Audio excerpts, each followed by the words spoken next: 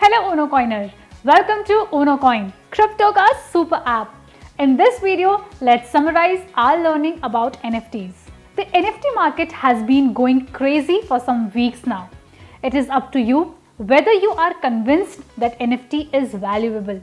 But people are buying them and these collectibles are rare, unique and here to stay for some time. The digital world is changing at an unprecedented pace. Blockchain today is the world wide web of the 1990s.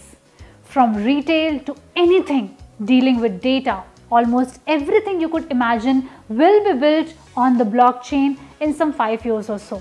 Buying an Ethereum today is like buying a part of the internet in the 1990s. There is doubt and questions about this new upcoming disruptive innovation, but the fear of missing out will only grow bigger. 2022 is a year for crypto and so is for NFT too.